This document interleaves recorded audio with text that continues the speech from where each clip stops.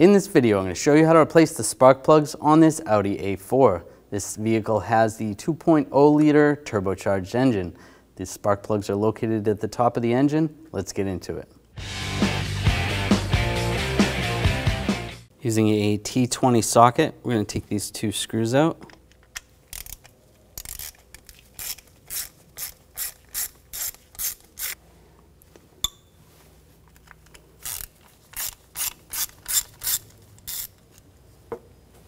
Going to release the connector, push down on the tab. If you need to, you can use a straight blade screwdriver.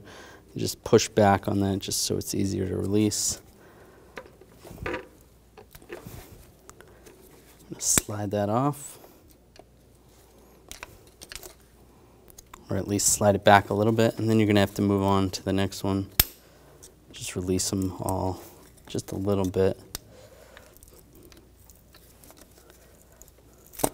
There we go.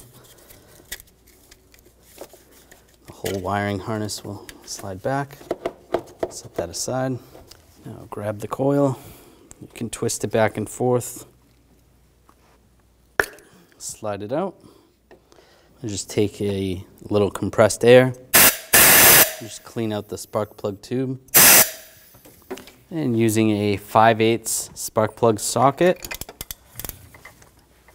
loosen up the spark plug. This socket has a magnet on the end, so it'll hold the, the spark plug once it's out.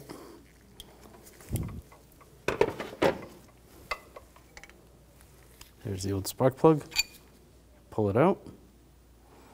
And take the new spark plug, slide it in the socket, and carefully slide it down the tube. Start it by hand. Now we're going to torque that to 22 foot-pounds.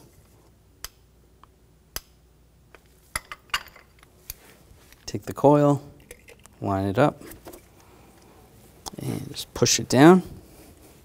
And then you can do the same with the other ones. Now connect the wiring harness, get those lined up.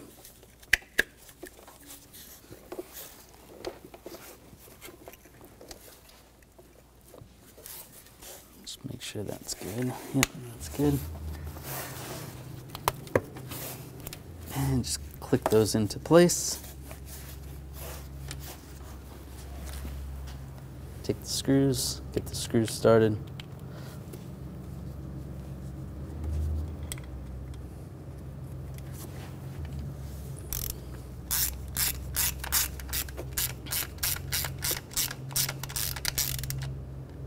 Snug that down. And snug that one down. When only the best will do, demand TRQ. The only company that lets you view before you do. TRQ is committed to offering the highest quality aftermarket auto parts that are engineered for peace of mind. Thanks for using and viewing with TRQ.